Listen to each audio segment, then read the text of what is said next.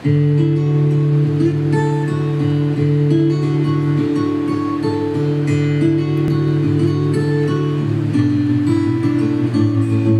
a dal rólunk is szól. Szalma Edvárd az egyik főszerzője ennek a dalnak, és ő is a szerelméhez írta, de amikor elhozta hozzám ezt a nótát, akkor én is mondtam, hogy pont egy ilyen dalt szeretnék csinálni majának, és akkor megegyeztünk, hogy akkor ezt megcsináljuk együtt. Úgyhogy családi vállalkozás a javából. Újra gyónolnánk, ugyanolyan jó érzés. Nekem nagyon nagy élmény volt ezt így ebben a verzióban előadni ezt a dalt. Szerintem nagyon különleges, így ez a hangszerelés, ahogy van, és bízom benne, hogy, hogy sikerült ugyanazt a, a hogy mondjam, életérzést átadni a színpadon, mint amit az eredetiben is majd át tudunk adni.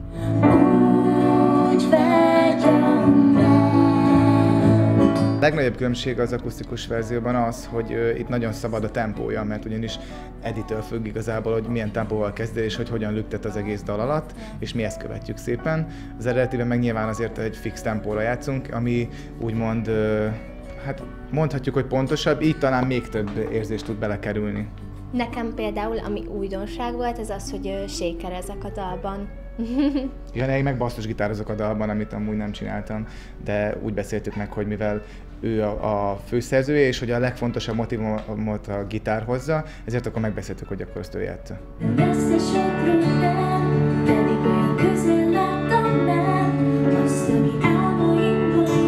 Igazából a zongora az volt benne, szólógitár az gyakorlatilag azt a szólót játsza le harangozó Sebestyén nagyszerűen, amit az Edi is kitalált, és annyi egy sékerrel egészült ki. Annyi, meg, egy, meg a dobot azt kivettük belőle, és tényleg a, a séker az, ami helyette lett. Én vagyok.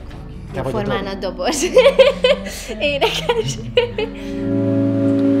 Nekem mindig te voltál a legjobb, miért is tagadnál?